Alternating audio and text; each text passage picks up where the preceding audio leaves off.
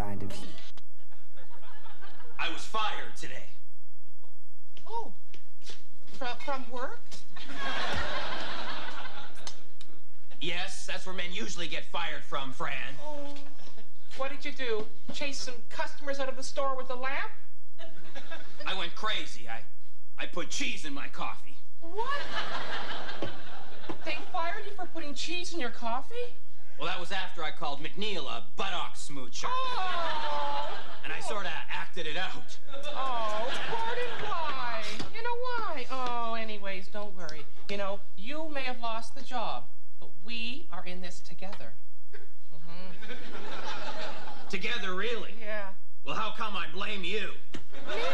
Yeah, that lunch you packed me was so horrible it, it made me wig out. I went crazy. I went all wiggy, friend. Jeez.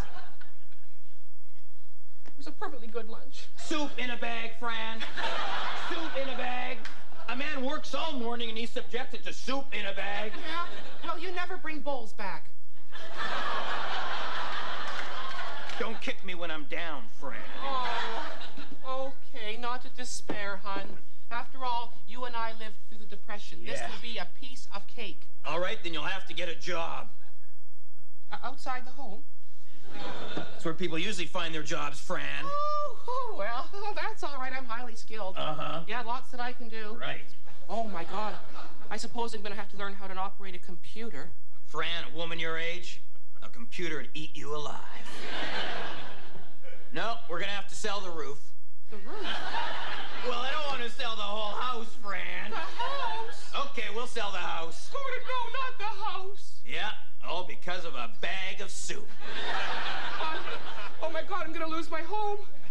I'm going to have to say goodbye to my spice rack. Oh, we'll end up living in a refrigerator box. I'll have to wash my hair in a puddle.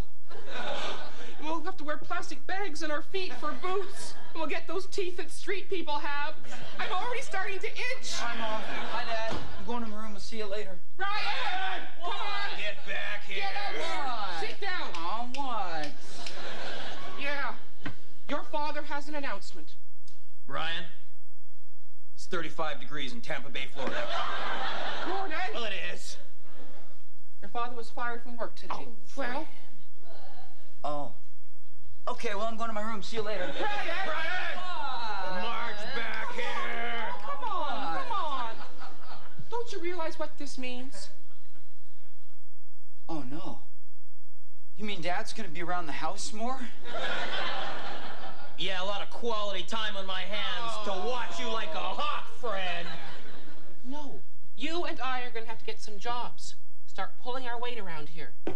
Yeah, you're gonna look pretty good in a hairnet and a McDonald's hat. A hairnet? Yeah, minimum wage earner, a hairnet. Oh my God, it's happening Oh. already, just like Lord of the Flies. Oh. Man, not a hairnet. You selfish little bugger. How about me? Hmm? Traipsing around town in one pair of nylons like a war bride? Oh, but a hairnet? Yeah, Come well, maybe that's where your hair belongs, in a net. Like a fish. What? You. oh. I didn't get fired. Oh, oh, I... They'd oh. die without me, and so would you, puppy dog. Here, did you see? That was horrible. That was horrible, Gordon. Not funny, not funny. Not for me, it was kind of fun. See, a man's home is his castle. I just wanted to remind you who was king. Bingo. Well, you can expect a visit from Children's Aid, Dad. Uh-huh. I'm scared. You know what that was? That was abuse, pure and simple. Don't be surprised to see Brian and I on one of those daytime talk shows spilling the beans. Oh, Fran, you're pent up. Oh, Here, why don't you relax and uh, pull my finger? Come on, give it a go. What? Well, that's not. Fran, you're hurting me. Oh, it's Come on, that's not funny, Fran. Fran, you're- you're- it's not funny. You're playing or not. Fran, ow.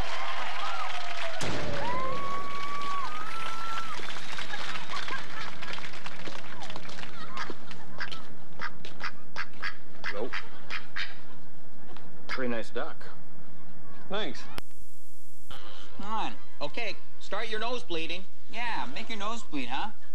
No. You have to. You're a freak. I don't have to do anything, thank you very much. Oh, come on. We came all the way in from the country for this. Yeah, we made our Uncle Tony drive us in a truck to see the nosebleeder. Yeah. So make it bleed. I don't care. I'm on my lunch break. Wow, what a bad freak It show, It is huh? so Something lame. rotten. Look, kids, you're not gonna guilt me to nosebleeding for you.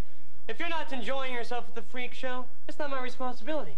My only responsibility is to myself, to make sure that I'm a healthy, functioning person who doesn't live in a state of denial. What? Huh? What? I don't. Listen up, kids, maybe you'll learn a thing or two. There are three steps to a good life. One, live and let live. Two, live one day at a time. And three, I am number one. You see, I've done some pretty good nosebleeding today, and right now I'm on my lunch break. To nosebleed for you now would be denying my rights as an individual. I bet you can't even make your nose bleed. Yeah, but that's, I bet you're a fake. You're a fraudulent Yeah, freak. he's a That's what you fraud. are. I'll call Better Business Bureau freak. Oh, come on, kids. Is that a frontal attack on my vanity? Oh, no. They don't believe I can nosebleed. Well, I'll show them. Oh, bleed and bleed and bleed. Yay! It's about time.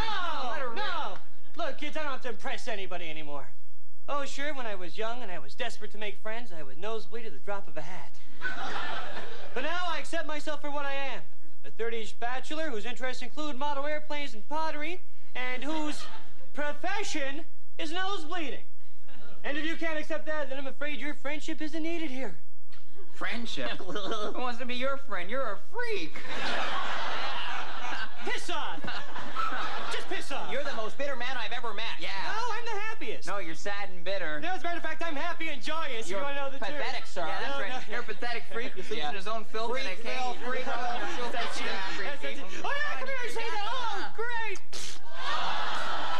Oh, great. Nothing like a major dose of stress to get my nose bleeding right on my new Mandarin jacket. Thanks. Thanks for the stress, That's kids. not so hot anyway. Get out of here.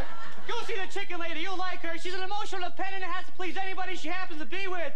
Go watch her lay her eggs. Come on, lay it. Hurry on. Well, you're gonna do it or not? This wasn't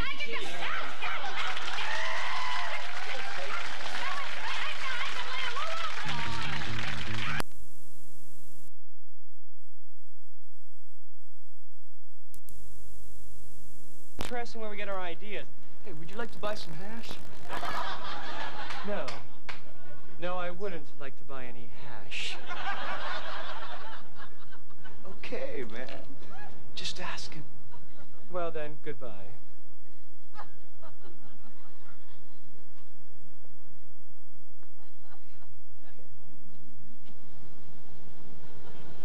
Officer, we have some hash dealers in the neighborhood. Could you take care of it, please? Thanks,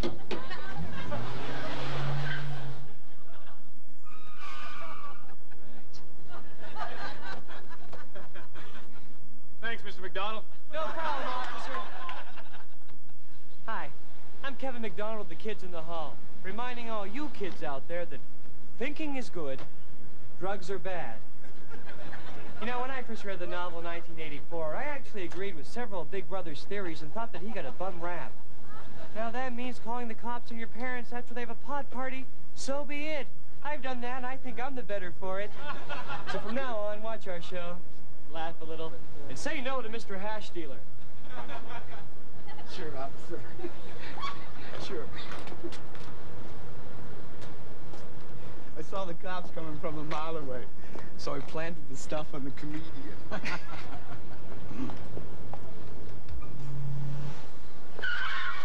Hi, officers. How did it go? I know you want an autograph. Everybody wants an autograph. But you're the people. Is there something wrong? Look, I can't smoke hash. I'm an asthmatic. You are an asthmatic. Losing in your prison. Is that what you want? Is it... Yes, it's hash. It's not my hash. I have a TV show. Are you aware of my TV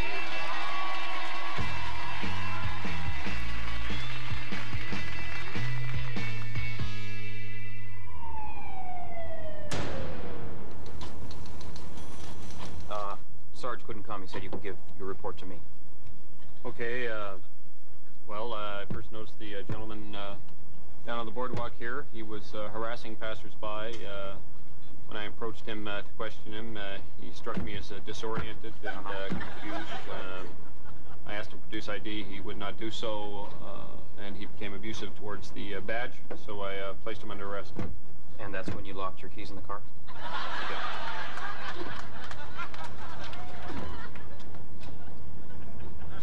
Is this the gentleman here? Yeah, that's him.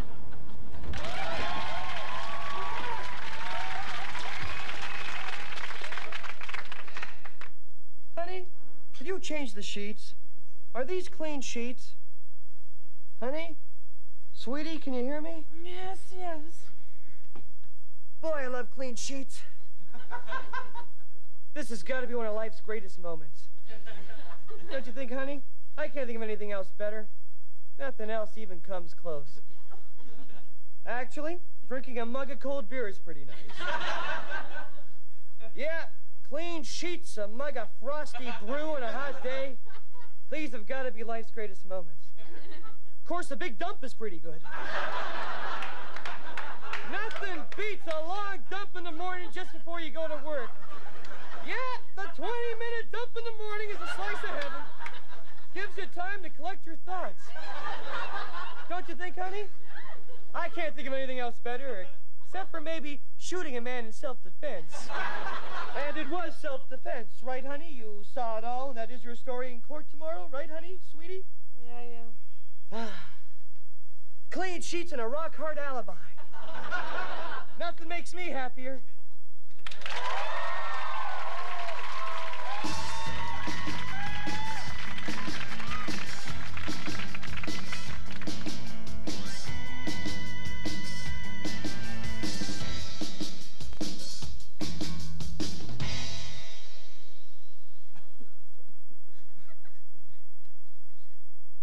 Charge is murder.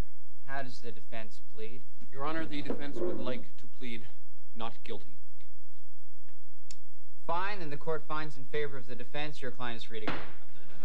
what? Yes! Yes! Yes! Honey, we didn't even have the bomb! Just a sec. My murder weapon. Where's the man's room? Your Honor, may I approach the bench, please? Yes, you may. Your Honor, uh, did it ever occur to you that the defendant might have been lying? Well, Mr. District Attorney, no. No, that never occurred to me. But we have seven eyewitnesses. His prints were all over the murder weapon. His shirt was soaked with the victim's blood. As a matter Well, of Well, maybe I'm just not as cynical as you are. that young man says he's not guilty. I'm afraid that's good enough for me. Now, we have a very busy schedule. I suggest we move along. Call the next case, please. The court calls Buddy the Killer Cole.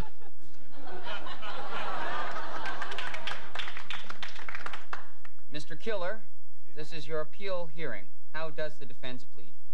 Sir, the uh, defense is prepared to plead guilty to a lesser charge of oof. Innocent, Your Honor. Fine case dismissed. You're free to go. Oh, and by the way, I'm a great fan of your monologues. Thanks.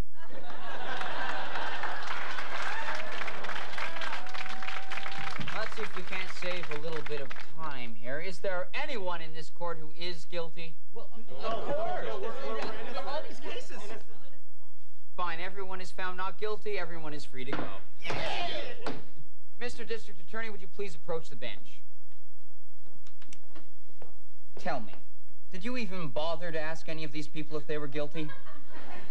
Well, of course. And and they said they were innocent. Mr. District Attorney, it has never been the practice of this court to put innocent people in jail just to further my own career. May I suggest, Mr. District Attorney, that this is the wrong line of work for a man like you. After all, just because your name is Mr. District Attorney does not mean this is the only job you can hold. My name isn't Mr. District Attorney. People just call me that because I'm the district attorney. Well, fine, then it should be very easy for you to put this little career mistake behind you. This court is now adjourned. If anyone needs me, I'll be in chambers drawing amusing caricatures of prominent political figures. and stop kicking the bench, you big baby. Well, people have been known to lie. It's not a part of human nature that I'm particularly proud of. People lie. And I think your monologues are a little long.